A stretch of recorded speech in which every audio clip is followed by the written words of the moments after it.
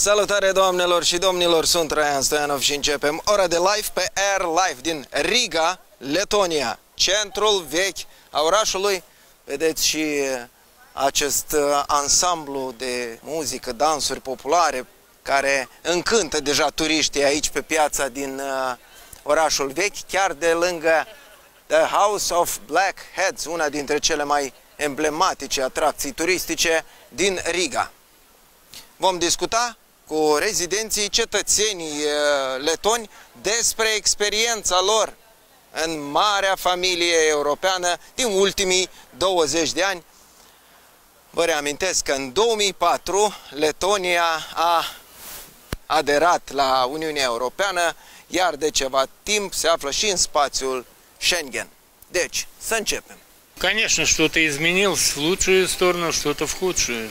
Так в жизни бывает.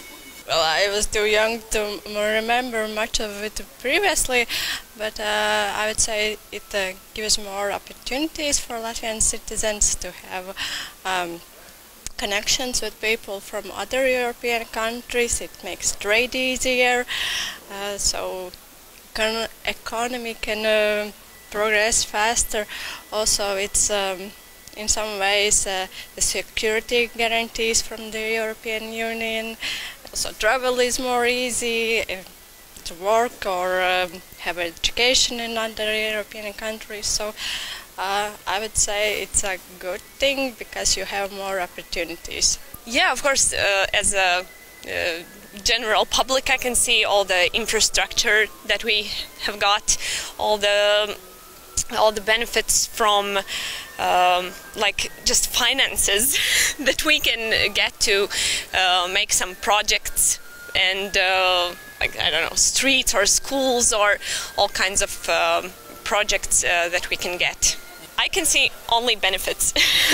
I don't know any of the downsides. In 2004, Latvia integrated in Europe.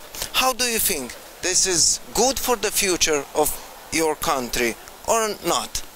I think it's uh, very good and like people from Europe, like another countries has opportunity to visit Latvia and like also Latvia has like my age people have opportunity to travel and of course work.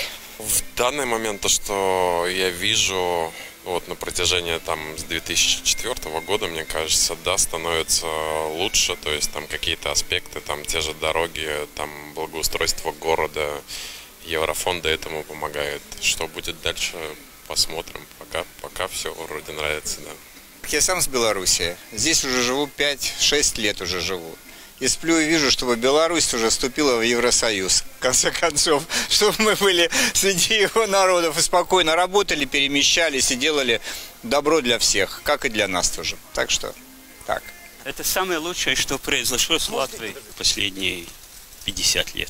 Экономическое развитие, возможность путешествовать, учиться.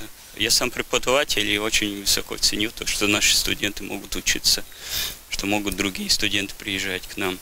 Ну, плюсы то, что хотя бы идет, э, ну, какие-то вкладываются деньги, то есть идет там, допустим, строительство Rail Балтика, там э, идет, э, допустим, там утепление зданий в таком плане, то есть как бы, э, фи, ну, Европа финансирует и как бы мы развиваемся.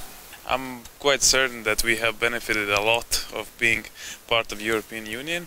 I think the youth get way too many opportunities compared to what it used to be. I think um, all the European projects are that are being implemented in Latvia have allowed us to uh, develop the infrastructure necessary for economic development. I think the um, possibilities to uh, travel, work abroad, have this united uh, system of values, of opportunities is something that uh, at least the newer generations appreciate a lot. So it is my hope that Moldova uh, might take this opportunity and uh, use the the best of its possibilities because I think there's a lot of benefits. Uh, so, well, I, I was in Moldova actually uh, a year ago, but I, I, I noticed that there's the, the, the, the idea of whether or not to join European Union, there's a little bit of a tension there. There's like split opinion. It used to be like that in Latvia as well, but I think nowadays it will be the utmost minority that would say that we have not benefited from European Union. Вы довольны своей европейской пенсией? Когда человеку было достаточно денег, всегда хочется побольше. Но мне достаточно, мне хватает. Главные плюсы, как вы считаете? Ну, Шенген, это сразу. Потом э, более-менее как бы стимулирует выравнивать какие-то экономические моменты. Ну, там, не знаю, зарплаты, опять же, налоги, чтобы более-менее одинаково. Ну, так. How do you think this integration has benefits for the future and for present or maybe opposite? Well, I think more benefits than the opposite. I mean, depends whom you ask. You're asking me, obviously, at this point.